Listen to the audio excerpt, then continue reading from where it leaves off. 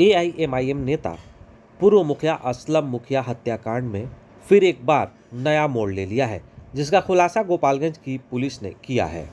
दरअसल, सात नामजद अभियुक्तों के अलावा दो अन्य लोगों की भी आज गिरफ्तारियाँ हुई हैं, जिसका खुलासा गोपालगंज के एसपी स्वर्ण प्रभात ने खुद किया है। आपको बता दें कि आज के ही दिन, यानी 12 फरवरी को, पूर्व मुखिया असलम मुखिया की गोली मारकर हत्या कर दी गई थी, जिसके बाद पूरे लोग इस इंतज़ार में थे कि उस मामले में खुलासा होगा। लेकिन आज जो खुलासा हुआ है, वो चौंकाने वाला है।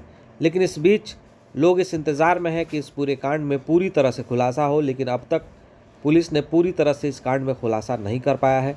जो नामजद सात अभियुक्त थे, उसमें चार लोगों को पहले ही पुलिस ने गिरफ़्तार कर न्यायिक हिरासत में भेज दिया है। आज फिर दो अलग, जो बिना नामजद थे, जिनका नाम उस में दर्ज नहीं था, एफआईआर में दर्ज नहीं था, उनकी गिरफ्तारी हुई है और उन्हें न्यायिक हिरासत में भेजा गया है। लेकिन क्या कुछ जो है पूरा मामला है वो हम बताते हैं, पहले जानिए कि देखिए, पूर्व मुखिया, जो असलम मुखिया थे, वो कहीं जा रहे थे, तभी उसी दौरान 12 तारीख को रात में अपराधियों ने उन्हें गोली मारकर उनकी हत्या कर दी गई थी। उसके बाद से उनके बेटे के द्वारा, उनके परिवारों के द्वारा सात लोगों को नामजद अभियुक्त बनाया गया था, जिसमें तीन लोगों को पुलिस ने उसी वक्त गिरफ़्तार कर न्यायिक हिरासत में भेज दिया। बाद में एक अभियुक्त के द्वारा आत्मसमर्पण कर दिया गया। उसके बाद से पुलिस लगातार छापेमारी करी थी, लेकिन अब तक कोई नतीजे पर पुलिस नहीं पहुँच पाई थी। यानी यह पेज पूरी तरह से नहीं खुल पाया था कि हत्या का कारण क्या था, हत्या क्यों हुआ था और हत्या किसने कराया था। इस बात पर अभी भी आशंका बना हुआ है। लेकिन आज जो गिरफ्तारी हुई है, उसमें दो अन्य लोगों की गिरफ्तारी हुई है। पुलिस ने जो बताया है, वो आपको बताते हैं कि पूर्व मुखिया अब्दुल सलाम उर्फ़ असलम मुखिया के हत्याकांड में जो लाइनर और हथियार सप्लायर की गिरफ्तारी पुलिस ने बताया है। पुलिस ने ये भी बताया है कि जो लाइनर के रूप में काम कर रहे थे, वो दीपक उपाध्याय थे, जो मीरगंज थाना क्षेत्र के रहने वाले थे। उन पर कई मामले भी दर्ज हैं। वो लाइनर के रूप में जो है, इस पूरे कांड में काम किया है और हथियार जो सप्लायर है, उसमें जो है, मोहम्मद फैसल उर्फ़ तौसीफ जो तकिया के रहने वाले हैं, उन पर यह आरोप है कि उनके द्वारा हथियार सप्लाई की गई थी और इसी बीच पुलिस को एक देसी पिस्टल और जो है एक कार्बाइन ज़िंदा कारतूस तेईस मिला है सेमी ऑटोमेटिक एक राइफल और दो मोबाइल फ़ोन भी पुलिस ने जब्त किया है। इस पूरे कांड का खुलासा करते हुए पुलिस ने ये बताया है कि ये दोनों लोग उसमें शामिल थे। पूर्व मुखिया अब्दुल सलाम हत्याकांड में आ, पुलिस को एक बड़ी उपलब्धि हाथ लगी है और इस हत्याकांड में जो शामिल लाइनर था उसको पुलिस ने गिरफ़्तार किया है।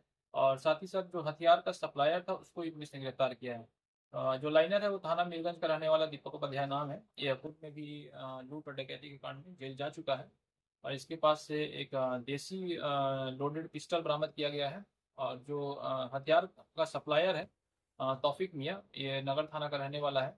और ये हथियार का सप्लाई किया करता था पहले भी, और काफ़ी भारी मात्रा में हथियार रखता भी था।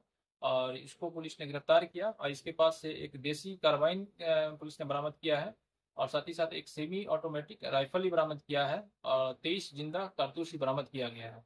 इन दोनों लोगों को गिरफ़्तार कर माननीय न्यायालय में अग्रसारित किया जा रहा है सभी हथियार अवैध हैं?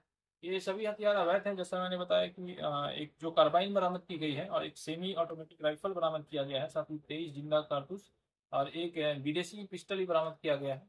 ये सभी हथियार अवैध है और तोफिक में हथियार का सप्लाई किया करता था और इस में भी इसने हथियार का सप्लाई किया है और इसमें जो लाइनर का काम किया है दीपक उपाध्याय, उसके पास से भी हम लोगों ने हथियार बरामद किया है और पूर्व में ये बड़ा अपराध की घटनाओं में शामिल रहा है। हालाँकि पुलिस ने गुप्त सूचना और टेक्निकल रिसोर्सेज के आधार पर इन्हें गिरफ़्तार किया है और इनके पास से जो बरामद हुआ है वो हमने आपको बता ही दिया है। अब देखना होगा कि अगड़ी इस पूरे हत्याकांड की अगली कड़ी का खुलासा कब होता है? लोग इस इंतज़ार में हैं कि पुलिस इस पूरे मामले की पूरी तरह से खुलासा करेगी और लोगों को यह जानकारी मिल जाएगा कि आखिर हत्या का कारण क्यों, क्या था, हत्या क्यों हुई थी। लोग अब इस पूरे कहानी का इंतज़ार कर रहे हैं। अगर आप हमारा चैनल यूट्यूब पर देख रहे हैं तो सब्सक्राइब करिए फेसबुक पर देख रहे हैं तो लाइक, शेयर और कमेंट ज़रूर करिएगा। लाइक, शेयर, सब्सक्राइब ज़रूर करें। धन्यवाद।